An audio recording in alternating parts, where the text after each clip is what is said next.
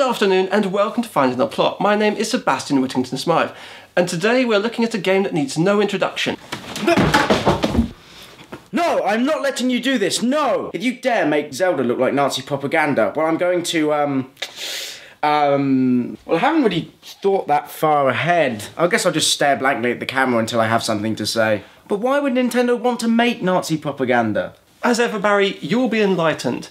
So sit back, relax, and throw some jars as we find the plot of The Legend of Zelda A Link to the Past. Before we get directly into the game, though, we need to turn our attention to the game's backstory. According to Hylian legend, the world was created by three gods the god of power, who created the land, the god of wisdom, who created science and wizardry and brought order to nature, and finally the god of courage, who created life and brought justice and vigour to the world. After they made the world, they created the Triforce, a golden triangle that contained a small amount of their power. This Triforce was hidden in the Golden Land, safe from the hands of regular mortals. Legend has it that it beckoned to people with the hope that a worthy champion would find it. One of the races created by these gods were the Hylians, pointy-eared folk who possessed magic-infused blood and psychic powers. They were skilled in wizardry, and their ears allowed them to hear special messages from the gods. They were held in high regard and settled around the world, teaching the lesser folk by sharing their knowledge and lore. Do you notice something about this backstory? So let me guess, you're going to say that the Hylian race is like some sort of master race, you know, like the Nazis had with the Aryan race? Exactly, I'm glad you got the connection. What about the rest of it? Well, I'm only doing this because I know you're going along a Nazi theme. As the rest of it, not a frigging clue. The religious history of the gods recalls somewhat pagan beliefs. The Nazis had a belief of blood and soil, which is considered by some observers to be a kind of neo paganism. It's clear that the Hylians, like the Nazis, considered them to be some sort of master race. They not only believed themselves to be better, but also looked to teach the lowly folk about paganism, to be in tune with nature. They saw the Triforce as a kind of beacon of knowledge, a symbol of natural harmony, three virtues in balance. Anyway, as time passed, people began to write legends about the Triforce, claiming that it would make the bearer's wishes come true. This encouraged the greedy to chase after it, leading to a long running bloody war until it was found by Ganondorf Dragmire, the King of Thieves, better known as Ganon. His greed and evil contaminated the Golden Land, and long story short, seven wise men were summoned to seal the entrance to the Golden Land. The good people of Hyrule forged the Master Sword, a sword designed to defeat evil should it ever rear its ugly head. More on that later. The backstory mentions that the Triforce, an inanimate object, cannot tell good from evil, but is able to grant people's wishes. So, what we can surmise is that over time, those with an unjust worldview sought the Golden Land. They wanted to obtain this big gold inanimate object that could grant their greatest wishes. This greed contaminated the Golden Land and nearly contaminated Hyrule. But it was sealed away just in time. Any thoughts, Barry? Right, so these Hylians are Nazis, Germans, whatever. But surely you're not going to say that the thieves of this game are the Jews. Yes. Yes, I am. The Nazis believed that the Jews were a corrupting influence who encouraged immorality. Greed is certainly immoral, and the stereotype of money hungry Jew is embodied quite well in a group of people pursuing a golden artifact. Indeed, money, like the Triforce, doesn't know right from wrong, but it can grant many wishes. Some Nazis believed that the Jews wanted to achieve world domination, and by showing them as a corrupting influence, ruining this golden land, and perverting their pagan beliefs of the Triforce as they go, is quite strong symbolism. After this, a mysterious wizard called Agahnim appeared. He eliminated the king and kidnapped seven maidens, including the king's daughter, Princess Zelda, and that's where the game begins. So naturally, we start by inputting our character's name. Seb, not Adolf. This is to give the player a sense of being Link, part of the Hitler Youth. Why would Adolf need to be indoctrinated? So we hear that Zelda is a prisoner in the castle and needs help. It's actually Link's uncle who hears this psychic message and goes off to save her, but we'll see what happens to him. After a while, Link gets up and decides to go to where his uncle went. As you can see, Link is the embodiment of the master race with his. Purple hair? I don't recall Nazis having a thing about purple hair and black eyes. He's got the pointy ears. There are debates about why Link's hair is purple in this game, but we clearly see in later games with better colour palette that it is blonde. In this game, however, we have established that pointy ears are a trait of the master race, and Link's got those in abundance. It was all clever writing to erase the doubt, see? We also see that Link's famous hero costume is actually his pyjamas.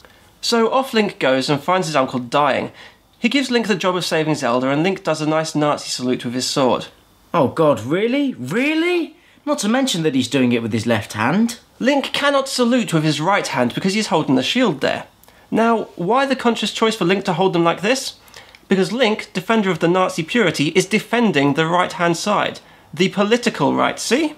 It's all subtle touches that hammer home the message. Link gets to Zelda's cell and frees her. Notice how Zelda asks him to push from the left to open a bookcase, showing another subliminal message that those on the left need to be on the right. The Nazis didn't like communists, after all.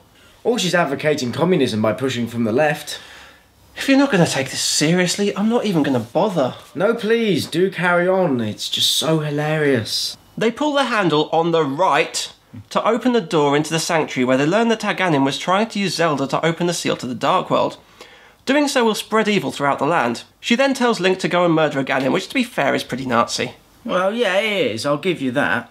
And the only thing strong enough to beat Agahnim and his puppet master is the Master Sword. The sword of the Master Race is Hyrule's final solution. Do you think we're going to offend anyone by this? Well, I'm just saying, you know, some people take the Holocaust seriously, and Zelda fanboys, well, you know, they take it quite seriously as well.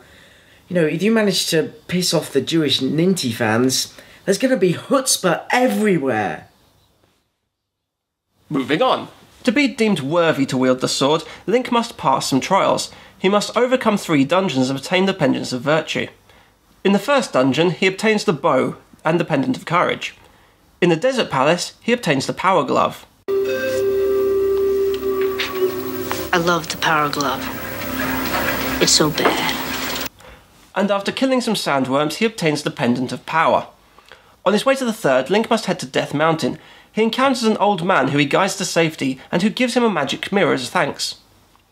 The mirror is said to pull him from the Dark World. The symbolism here is that if you ever drift off the path of purity, look to yourself for guidance. So, to actually reach the dungeon, he must be transported to the Dark World. Here he is turned into a bunny, and we find that, according to these two, the Dark World turns you into whatever's in your heart. Link, the Nazi, turns into a fluffy bunny, something we can all relate to. The others who came to the Dark World for greed are shown to be filthy monster Jews that they are. Taking this review out of context makes you sound a bit Mel Gibson, you know. Awesome, I loved Mad Max. So, Link heads to the dungeon and defeats the snake thing, gets the Pendant of Wisdom and also the Moon Pearl, which helps him retain his form in the Dark World. The pearl, being a sphere, represents the well rounded individual who keeps his head under pressure, like all Nazis. As a worthy hero, Link marches off to the Lost Woods. Here he comes across a grove filled with animals, which is a visual representation of his pagan roots. This is where he finds the Master Sword, the blade that will allow him to carve out a path of purity and justice on the unclean. Just as he does that, soldiers find Zelda and kidnap her and kill the priest. Link runs to Zelda's rescue, but is too late. Agahnim does his magic and Zelda is gone. Link is so angry that he slashes the curtains and then charges in after Agahnim. He kicks Agahnim's butt, deflecting his magic back at him with the Master Sword, but Agahnim escapes, sending both Link and himself to the Dark World. It turns out that the seven maidens are sealed away in seven dungeons. Why seven? Well, as it happens, Judaism has a thing about the number seven. The Shabbat is on the seventh day of the week. There are seven weeks in the counting of the Omer before Shavuot. In Israel, there are seven days of Passover and Sukkot. When a close relative dies, we sit at Shiva for seven days. Moses was born and died on the same day, the seventh of Adar. In addition to the 613 commandments, the sages added seven more. See? Once again, the symbolism makes sense. So, Link is in the Dark World. Now remember that the Dark World used to be the Golden Land until the Jews got there. This is a possible sign of Nintendo's prejudice, that they fear that if the Jews ever make it to the Promised Land, they will corrupt it and possibly bring a new Dark Age. Wait, we're talking about Nazis here. How did Nintendo get into this? Well, you don't think that this game was made by the Germans, did you? Clearly somebody working at Ninty has a deep-seated anti-Semitism. Hell, Germans and the Japanese were allies in World War II. Anyway, unlike in Hyrule where there are lots of friendly people to talk to, very, very few here will help Link or talk to him without trying to rinse him for money. This has been bugging me. I'm pretty sure my parole officer read to me that some Nazis didn't like Jews because they might be communists, among other things. They sound like capitalists to me. That couldn't be more the polar opposite unless this was a game about childhood abstinence made by Gary Glitter. Do bear in mind, Barry, that this game was made in 1992. Stereotypes had moved on. The stereotype of the money hungry entrepreneurial Jew is even more in vogue these days. This is why everybody who you speak to in the dark world runs a small business geared at robbing poor Link. They're targeting him specifically. You can see this because he's the only guy in the world with a glass bottle, and so many people sell potions that can't be carried any other way. The idea is to make the player feel ill at ease with these people, and the poorly timed capitalism is just a thing to draw comparisons with the Jews. It's using a mixture of modern and old fashioned Jewish tropes to put across how dangerous the Jews are, in the eyes of the Nazis, of course. Seb, all this, it's only in your head. I can't help it if I can spot the subtleties. I was just being subliminally influenced. The only nice people you can talk to are the trees because of Link's hardcore paganism. There's also a couple of guys in caves early on and this fat fairy, and while the fairies in the light world are at the peak of the physical ideal, this one is bloated by Ganon's evil Jewishness, but more on her later. Another thing worthy of note is how everybody in the Dark World is primitive and are certainly a level below Link in terms of evolution. While he travels the seven dungeons picking up tools and being industrious and clever, this primitive lot throws spears, bombs, or wields deadly Q-tips. This is yet another sign of his genetic superiority. So he trundles through the seven dungeons, and in each one he battles the monsters who are guarding the maidens. Each one is trapped inside a valuable crystal, and they keep it in the ceiling, and phew, lucky Link caught that. When he frees them, they tell him a little bit about the story. The first tells Link how Ganon found the Triforce in which to rule the land, and that he is planning on invading the Light World once he's built up his power in the Dark World. He intends to use the maidens to open a gate into the Light World near the castle. If all seven maidens are rescued, they can break the barrier around Ganon's fortress, and Link can go and kill him like a good Nazi. The second says that Ganon found the Triforce but couldn't find a way back. However, because Link has magical powers that only the hero can make the most of, he can go between one and the other. Once again, this is because of his superior bloodline. The third talks about the Great Cataclysm, that if someone with an evil heart gets the Triforce, then the hero is destined to show up and stop him. Only someone with the Knight's blood can be the hero, and it just so happens Link is the one with the Uber blood. He is pure, he is the hero, and he must rescue Zelda. Correct me if I'm wrong, but isn't Zelda a Yiddish name? And so doesn't that make her at least a little bit Jewish? I'm glad you brought this up. Yes, Zelda is a Yiddish name, and the Yiddish is High German, with Zelda being a pure Nazi princess with a High German Yiddish name, it represents the blurring of society from the purity of Nazism to the terror of the Jews. Like I said, the Nazis worried that the Jews would corrupt their society. What corruption could be worse than this pure Nazi princess being used by this uber Jew to open the floodgates and allow his evil into the world? That's why it is her legend, and why she is the one who matters most of all. She is both sides of the coin, do you see? Well, not really. Let's just get this over with. The next maiden talks about the Knights of Hyrule, the Nazis to you and I. She says that whilst the wise men were sealing the Dark World away, the Knights of Hyrule were defending them from the monsters, but they were all nearly wiped out. This draws a parallel to World War II. Imagine from a Nazi point of view that by committing the Holocaust, they were sealing away the evil, but the Allies were trying to stop them and in doing so wiped out most of the Nazis. Link is the last one left. She says, It is ironic that the last one in line has the potential to be the hero of legend. This statement empowers the player. He can do it. He can continue the Brave Knight's legend. The next two simply reiterate about what Ganon was using them for, and the importance of the bloodline. Link heads to Turtle Rock to rescue Zelda, the final maiden. She confirms that Link is a legendary hero and Ganon's plan has nearly come to fruition. It's time to stop Ganon! I've been waiting for you to mention the Flute Kid, but you're not going to, are you? He's not that important. Oh, well, you can't find a way to fit him into the narrative, can you? Ah, if you must. Okay, in the light world, there is a boy playing a flute in a grove. Animals sit with him and he is clearly in tune with nature. But when you go near him, he vanishes. It's a sad sight indeed. In the dark world, in the same spot, we find a dying, twisted creature who says that he used to play the flute for the animals, but now he's stuck here. He asks if you can find the flute for him. When you return to him, he says he's too weak to play it, so you play it for him and he dies, turning into a tree. He represents the potential for redemption.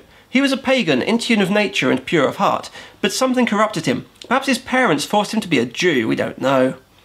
All we know is that he has been corrupted by Jewishness. However, when he died, he returned to nature, becoming a tree. It's one of the saddest moments in the game and shows the sad truth that even the good can be corrupted, but also that there is a chance for redemption. Perhaps you can redeem the rest of the world, one dead Jew at a time. Oh, before I forget, just before entering Ganon's tower, you can use the giant bomb to break into a fairy pool. If you throw your bow in, you obtain the silver arrows, which are Ganon's weakness. Why his weakness? Because it's not gold. Jews love gold, not silver. It's bringing down his net worth or something. There's not much to say about Ganon's tower. Link fights his way through the game's largest dungeon, and. Get over here! Get over here! Get over here! Really? This is the closest you'll ever get to doing Mortal Kombat. Give me this one. Okay, I guess. Get over here! Okay, I'm done. Eventually, you get back to Ganon and kill him once and for all.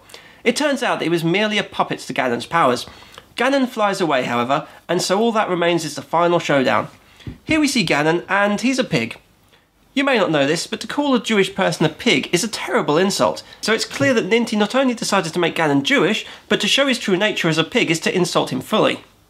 We kill him with the degrading power of silver and then go and rescue the Triforce, returning goodness to the world. And here we see all the good that we achieved. So the king Pura, came back, the sage came back to life, Sahasrahla came back, vultures ruled the desert. Really? Link cared that much about the vultures? The bully makes a friend.